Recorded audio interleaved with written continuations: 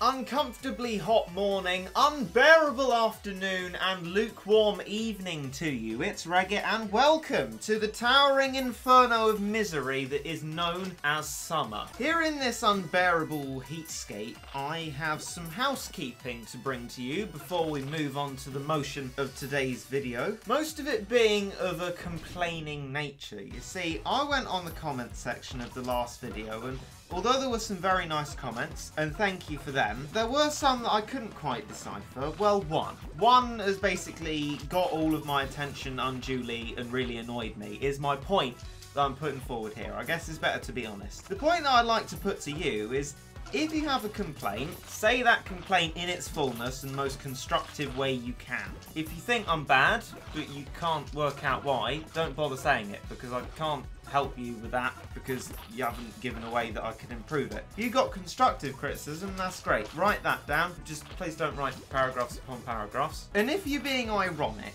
please consider this. I, as myself with my mindset that I unfortunately have and can't change, and as a YouTuber, can't just say, oh, that's an ironic comment, lol, that's hilarious, unless it's something incredibly obvious. Like, one of my special favourites was when I couldn't do Ancient Curse, and someone says, LMAO, why are you struggling? Just do the level. And then about like 70 laugh cry emojis. Like, that level of irony is fine. But when you've got a kind of subtle irony, what that does is only breed problems. If you're saying something that could be considered nasty if it wasn't ironic, but it's not obvious that it's not ironic, I'm just going to take offence from that. And that's not good. That's going to put me in a miserable mood and make me complain about it at the start of the next video. If you're being ironic, please be obvious in your irony because this is the YouTuber responsibility bit. As a YouTube creator, I'm going to take everything that people say seriously unless it's incredibly obvious otherwise. Because imagine you have a criticism you've put forward and I take it as an ironic comment. I've essentially completely ignored you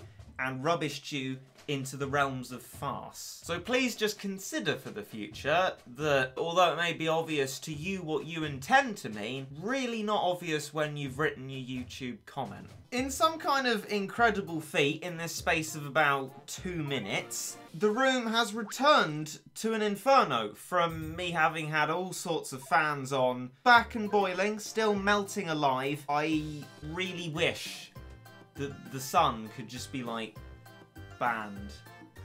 Yeah. So today, if cat fruit permits, the plan is to move on to true forming something which is long wanted needed a true form. I feel like I ought to be more excited, but the heat is sapping away at my will to live, the little of it that there was, and I'm even more miserable than usual, and it's horrible. It is a living hell in this inferno. Another thing, impatience. I've noticed a lot of impatience in comment sections. In the last video, the comment that I was actually referencing my whole point to was one that I couldn't be sure if it was ironic or not, but it said about there not being an Oda true form in it. And you gotta remember, this is a video that someone has worked hard on to bring out to you and you're just putting out a comment essentially saying I don't care about all that work. Where's this other thing? Could you perhaps just appreciate what you've been given for what it is and look forward to something else instead of rubbishing what you've got now and demanding it? Because that really annoys me. But what has been wanted will come today. Warlord Nobunaga my first ever Uber that I ever ever ever acquired in this game. So very very long ago around the time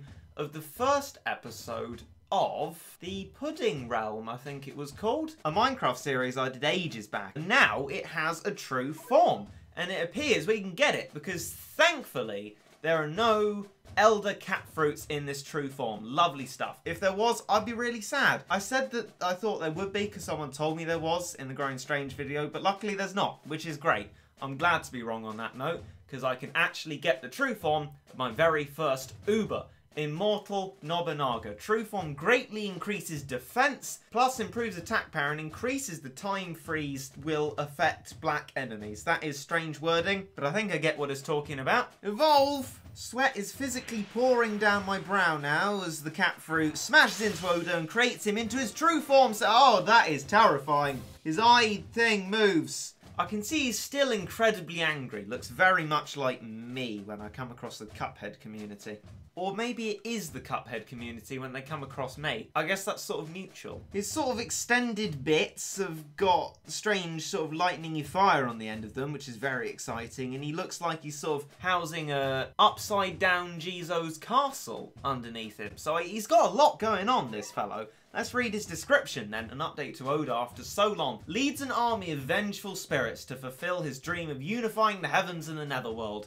100% chance to freeze black enemies. It does bug me a little bit how inconsistent this branding is. Not really branding, but the wording of area attack or the abilities. It's just got area in brackets there, not area attack. Some things say it has area attack, but not in brackets. Really uneven, and it would just be nice if it was formatted properly. It's a thing I've been trying to do on the channel. Currently working out a steadfast thumbnail type to go onto the beginner account guide videos so that everything looks the same and you know it comes from the same way and it just feels a lot nicer. It's a recognised media industry thing and it just seems a bit sloppy that all the descriptions are different. I mean this menu, lovely. Same sort of thing, you have the symbols and it's all branded the same way, no differences. Here, really sort of slapdash. You know, I, I, I cannot stand this heat. This is so unbearably hot. Physically like being in an oven. I've got to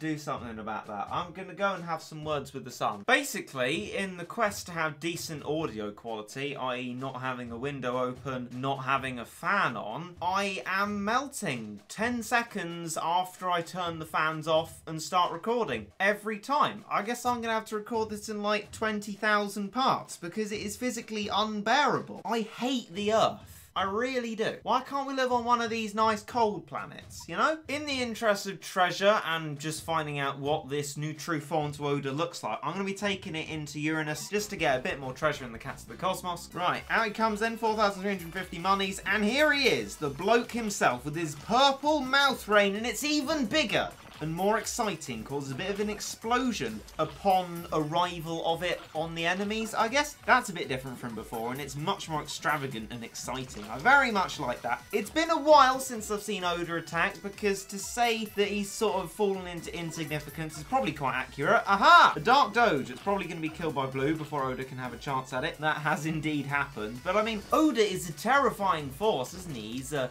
big, imposing creature, and I've sort of noticed already his, his bits, his extended bits, they are sort of falling into the background in a way they're sort of a little bit out of focus. I mean, maybe that's intentional. Our main body of Oda is what we see the most. There's a chance for a little bit of freezing, and wow, yeah, that freeze is still going on.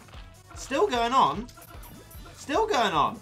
That is a huge freeze. I mean, I've heard people saying Oda's true form was rubbish, but I mean, well, Maybe practically in some circumstances, but that Dark Doge certainly wouldn't think so. We can get another one as well, so the recharge time isn't too bad. I mean, it looks like it's sort of relatively similar to Blues, who've probably just been here a while. But Oda seems to really have found new usefulness in this game. That is an epically long freeze time. I mean, I don't suppose we'll have any XP stages to be able to test him on, given the time at which we're recording this. But still, that's mighty impressive from Oda. I tried looking for a level to put Oda in. Obviously, I could find something like Black Premonition, but doing that again, don't really see much particular point in it. And Triton's next in the Cats of the Cosmos. We need to make our way through that. I'm doing it at a nice leisurely pace, getting treasure normally, unlike the treasure radaring types, savouring it as I go along, and Triton has no special requirements to it, so we can bring Oda into it. And I've heard from people who don't seem to value my surprise that there is something new inside this. It's a dolphin. I hope that's not foreshadowing. Oh, it is! No, that that's not very good at all. Oh, it's got a barrier. Isn't that wonderful? Well, Oda hasn't got Barrier Breaker, to the best of my knowledge. I'm going to bring out a Rover Cat. That should be nice and resistant. I must at least say that this Dolphina, this sort of starred alien Dolphina, who I would love to be more surprised about, but people spoiled it for me, doesn't actually look as annoying as the normal Dolphina. It's sort of a I don't know how to describe it. One of those sort of stubby whales with the sort of stubby nose. I don't know how to say it, but to be honest, right, it doesn't seem to be causing much trouble at all. I'm quite fond of this one so far. Blue seems to be handling the situation perfectly well, and I think we will take this opportunity to do a little freeze and save up, ultimately, for Oda. Not particularly an anti-alien unit, but still, big and scary and, and shoots purple fire That's enough for me. Pluto is next, and it does have a restriction, but luckily for us, normal special, uber rare, so it's still fine. We have an island. Why do we have an island? It's half the solution to everything, so that at least should carry us through the level. Start off with the Lemur! Perhaps an island will be tanky enough to move up to it and bite it, make it move backwards. Go away, Lemur! We don't want you here. Because I'm such an edgy chap, I'm actually going to bring out an Oda before my blue, so it has a little bit of time in the limelight as we build up our worker cat. Take a shot at Lemur then, Oda. Lovely, knocks it back. Perhaps not so useless as I thought it might be, against things that aren't black enemies. Equally though, this is still a relatively early level on in the chapter, so maybe everything's quite easy. But I mean, where's the fun in admitting that? Ah, Lemur, Morph, and Gregory. We'll bring out Mega Aphrodite for that. And some meat shields and some other stuff. And I think otherwise we'll be perfectly fine. Gregory might have been a little bit of a worry had we not blue, but seeming as we do have the blue, we're going to be absolutely fine. Oda giving some fire when it's needed between the blue shots. Mega Aphrodite doing loads of damage and that. Between the three Ubers and everything else. And I mean, I always class Jizo as not an Uber because it's cheap. Just like this sort of mystical good entity. We're doing perfectly fine. Might have to shout above my fan for this one because I've turned it on in between bits where I'm speaking. But we got the superior treasure, so that's good. But if you listen to the fan, this glorious cold air that I'm receiving is what I am sacrificing for all of you. Red rectangle is next then with the same restriction, so we can go straight into it with the same slot and try and have the same success. That can't surely qualify as a rectangle. It, has got curves. It's a 3D shape. It's a cuboid, and a bad cuboid at that. Star Peng has greeted us. We had a nice, merciful break from it, and now it's back. Like, um, like summer. Looks like the island spam will also be great against these red enemies that seem to be littering this level, which makes sense in a red rectangle, actually thinking about it. Maybe a bit of A We haven't used that in Cats of the Cosmos pretty much at all, so we'll freeze these Get rid of them. Scissoroo joins us in Imperator Sael, two Imperator Saels in fact, but I think with all this stuff, we're going to be fairly unstoppable until something stops us. One thing I did think about with Oda is the possibility that it could work on the black stage of Growing Strange, especially with a freeze that works for that long. More reliable than a stack of bomber cats that could all get killed, possibly. Thing is though, I remember Oda being not great for tackies. It's sort of in that death range, which for a tacky is literally any cat unit anywhere, but particularly Oda suffers quite a lot against them. I mean, I'm raining on my own parade here. I have no intention to discredit Oda at all. I've got all of you to do that. This is just going to sort of be a nice stroll down a nostalgic and rose-tinted lane, if you don't mind. Eskimo Nebula is next, and we can still use Uber Rare three times this restriction. Lovely stuff. Start off with a Jackie Peng, thankfully, a normal Jackie Peng. Boy, am I glad to see you, normal Jackie Peng, you not too difficult enemy, you. Ultra Barbar. Well, I guess that does call for a loincloth in my slot now. That could barrier break for me. I've got options. It's brilliant. Right. Oh! We've been greeted with our first... Oh, I've forgotten its name. Well, it's the it's the starred alien elephant, isn't it? And I think a great thing for that would be Mega Aphrodite. But I do believe it's something that outranges Mega Aphrodite. Project A doesn't, but I feel like the elephant might. So I'm going to use this as an excuse to bring in Oda as if he could help the situation. Because I'm going to say that he can. The elephant's barrier has been broken by probably a loincloth. They have quite a large range. Bit of a strange range, but a large range nonetheless. And Mega Aphrodite's just dealt with it immediately. Well, a star pen still remains. Oda, you're a bit late for that. Your attack looked fabulous, mate. But if you could attack again, relatively fast attack rate, go again! And and the Star Peng is not dead, unfortunately. You can have another go at Oda. Move forward a bit.